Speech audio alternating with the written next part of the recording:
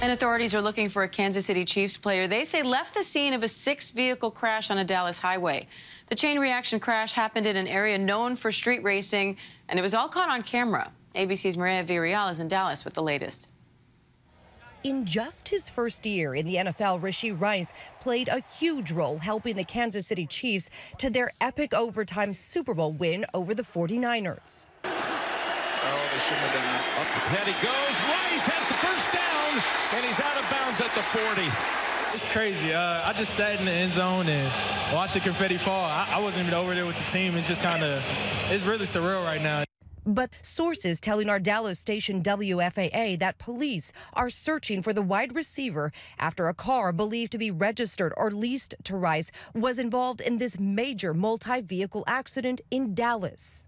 Dashcam showing the moment two drivers, one in this Corvette and one in this Lamborghini, were speeding when they lost control. The Lamborghini travels onto the shoulder and hits the center median wall, creating a chain reaction involving four other vehicles. Authorities say the occupants of the speeding vehicles all ran away from the scene without stopping to determine if anyone needed medical help. You can see here as three yet to be identified men exit the vehicle on foot. TMZ Sports capturing this photo of the aftermath as they walk down the busy highway shoulder. It's potentially a felony in Texas to leave the scene of an accident. And depending on the circumstances as to whether it will be a potential felony or misdemeanor charge.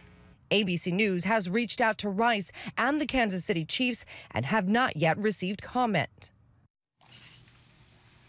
ABC's Mireya Villarreal joins me now from Dallas with more on this. Mireya, how are authorities saying Rashee Rice could be connected to this crash? Well, you know, Diane, you saw the videos, and there are definitely pictures from not just drivers involved, but people that pulled over to try and help in the situation. Um, obviously, it does look like him in those videos and in those pictures, but on top of that, one of the vehicles is actually registered under his name as either the owner or somebody who is leasing the vehicle. So, again, at this point, police have said they do believe there is some sort of involvement with Rice here they'd like to talk to him, but we are getting from several sources that a number of attorneys are now involved in the case and in this situation. So I think they are trying to negotiate what is the best option for him to come in and speak with police at this point. So could Rice face charges?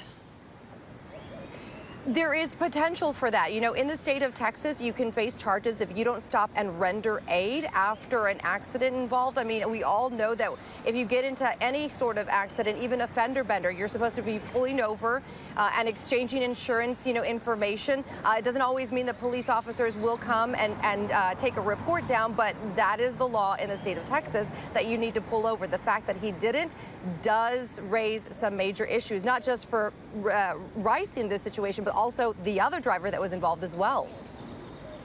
So what are police saying about those injured in the crash?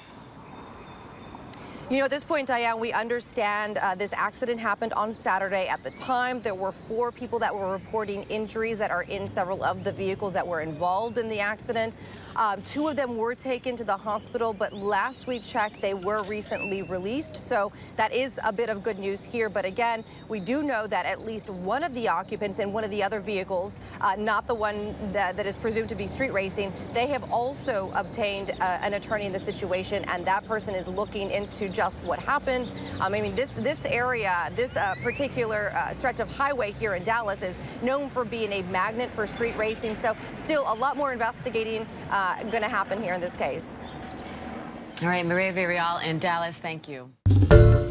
Hi, everyone. George Stephanopoulos here. Thanks for checking out the ABC News YouTube channel. If you'd like to get more videos, show highlights, and watch live event coverage, click on the right over here to subscribe to our channel. And don't forget to download the ABC News app for breaking news alerts. Thanks for watching.